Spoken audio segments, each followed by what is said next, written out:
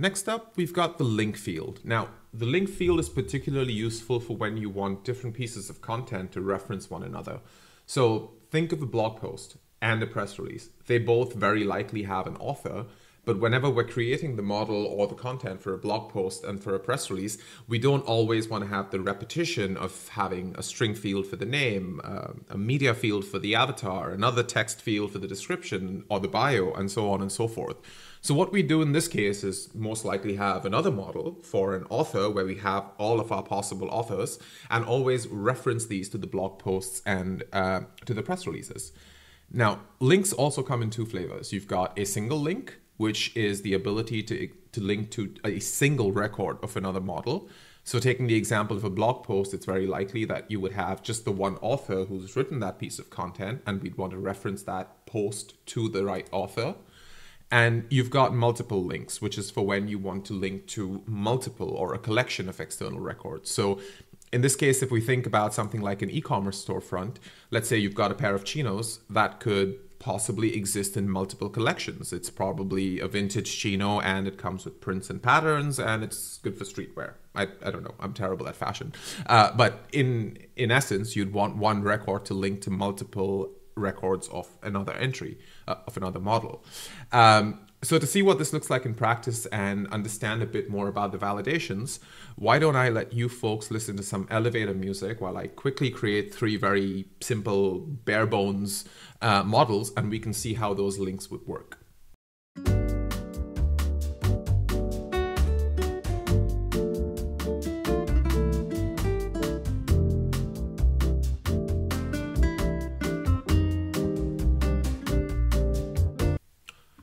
All right.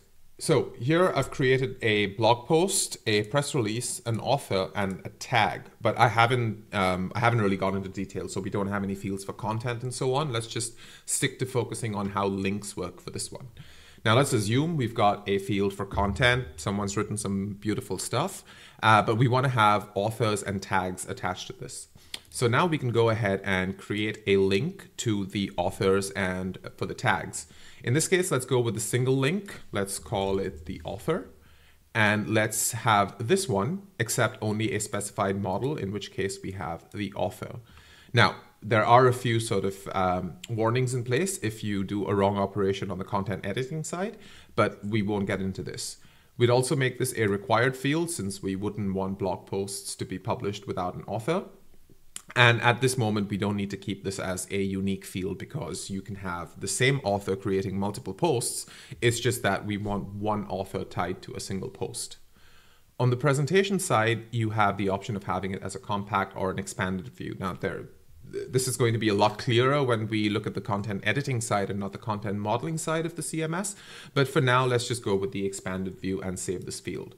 What we've done is create a single link, which means you can only reference one author. If you wanted to have, if you wanted to have two authors, this would have had to be a multiple link, which is what we will do for the tags. So you can always, or not always, but usually have multiple tags per blog post. This could be things like announcements, company news, uh, anything depending on on how your project is structured. So here, let's go ahead and choose multiple links and call them tag.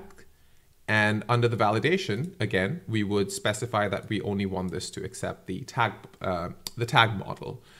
We can also have a specified number of records in this case, since you can have more than one. So let's assume that the, the, the grid for the blog posts on our front end has maybe three columns. We want to have three col uh, we want to have a maximum of three tags. So here we can also have no more than three, making sure that even though we have multiple records that can be referenced, we would stop at three or the or the post wouldn't be able to be published. And just for the sake of having a difference, let's go with the compact view for tags. So when we take a look at content editing in the future, we can see what the difference is in terms of visibility for the editors. And that's the link field.